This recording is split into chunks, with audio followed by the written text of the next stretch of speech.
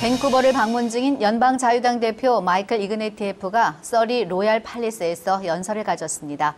이날 연설에서 이그네티에프 대표는 스티븐 하퍼 연방 총리의 정책에 강도 높은 비난을 했습니다. 보도에 홍재수 기자입니다. 지지자들의 열렬한 환호를 받으며 등장한 마이클 대표는 연설을 시작하기 전 참석해준 이들에게 감사의 말을 전했습니다. Thank you so much. Hello, Surrey. Great to be here. 그는 현재 캐나다는 많은 문제점들을 가지고 있다며 특히 고용시장의 위축과 실업자들의 문제를 거론하며 스티븐 하퍼 총리의 정책에 높은 불만을 나타냈습니다. We're here tonight and we're looking at the possibility of an election because our country's in trouble. That's the real reason. 1.6 million Canadians are out of work, and we've lost half a million full time jobs so far this year.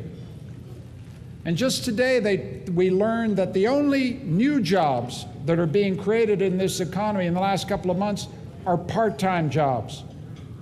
The record, the worst unemployment in two decades, the worst deficit in our history, oh. and last quarter, the worst performing economy in the entire G7. He's got to go. This is not good enough. As they say in French, nous méritons mieux, which means we deserve better and we can do better.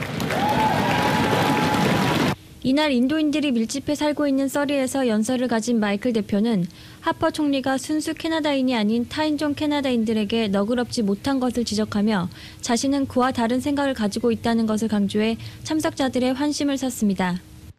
But to Stephen Harper, some Canadians are more Canadian than others. And I'll tell you something if you've got a Canadian passport, then the government of Canada has to stand up for you no matter where, no matter when. Because I'll tell you, a Canadian is a Canadian is a Canadian.